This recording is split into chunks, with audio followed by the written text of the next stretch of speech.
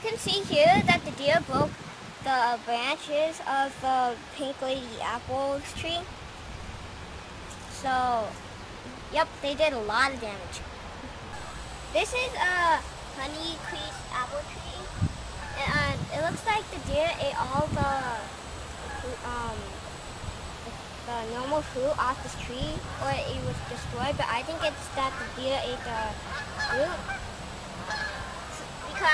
they like honey a lot. They like honey. Oh, you can see that right here.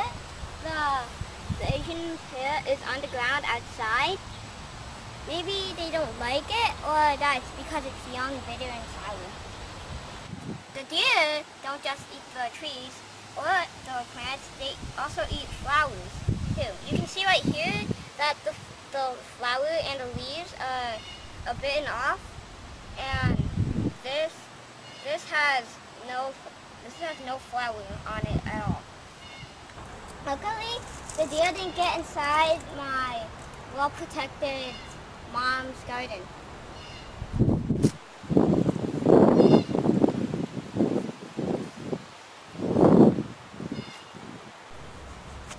They could have jumped in here because it's only four feet tall, but they didn't, so we're lucky. They didn't eat any grapes either, but even though they're right here.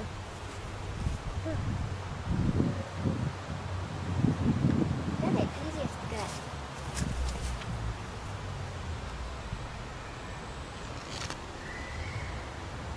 Yummy. Now I think I know why the deer don't want to come in here. Who wants to eat chilies? I certainly don't want that for punishment. It's tomato.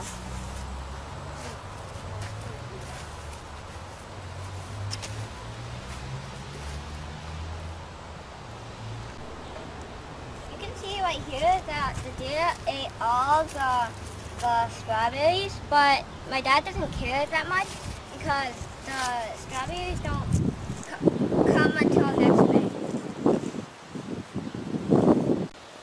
doesn't care about the sunflower either because it's just food for um, our parrot, oh, Romeo. But what he cares about is the Asian pear, the European pear, and the apples.